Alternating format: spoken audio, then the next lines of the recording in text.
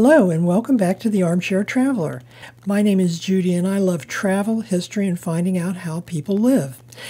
Are you thinking about spring? I certainly am because my brain forever visualizes something like the photo on the left, but this morning I was confronted with the reality of the photo on the right. Today I'm going to introduce you to an Aperol Spritz, an extremely refreshing Italian drink which I first encountered in Milan, Italy. This is a very easy recipe as long as you remember the proportions, which are 3, 2, and 1. Go ahead and write down the ingredients while I tell you how I came to meet this aperitivo. I first encountered this aperitif on a very hot day in Milan, Italy. I was staying in an apartment and the owner refused to turn on the air conditioning. It was on about the sixth floor, so I figured it would be safe to open the window. How wrong I was! The next morning, my eye was swollen shut from some kind of bug bite. I've always assumed it was a mosquito, but I don't really know. After I drowned my sorrows in and used some cold compresses on my eye, I headed out to find a pharmacy.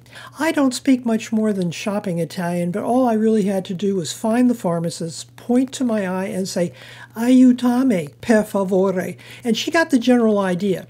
I was afraid to take any pills, but I did buy some insect repellent and some variety of cream which had the benefit of stopping the itch without stopping my brain from working.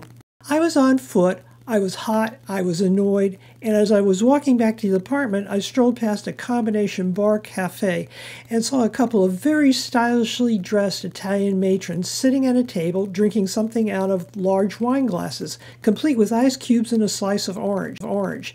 The concoction was orange as well. It looked cool and refreshing, and if I'm honest, I was neither. I went in, I smiled at the waiter, and I was seated. I asked the waiter, Aiutame Per favore, che cose?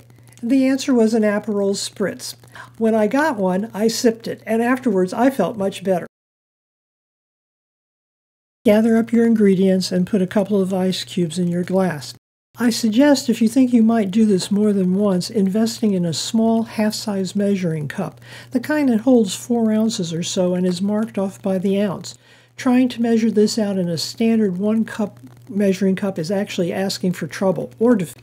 Step one is to measure three ounces of Prosecco and put it in the glass. Then add two ounces of Aperol. Then top it off with one ounce of sparkling water. Add an orange slice if desired, a straw, and enjoy.